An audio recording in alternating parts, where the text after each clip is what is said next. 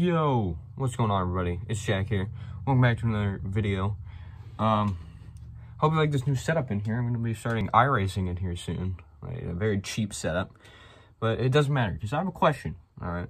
I have all this spare time, extra spare time on my hands. I've been thinking about getting into stop motion again. It's been like almost, it's been over two years since I last made a uh, stop motion video and I, I, am kind of bored of all the stuff I've been doing, just sitting playing video games, and online school stinks. So, um, I want to know, what, what would your thoughts be if I, now, I would not carry on that old series, I don't even want to mention the name, it's cringy. Um, I would be starting from scratch, like, this would be a whole new series, a, a whole new point system, all, all that kind of stuff.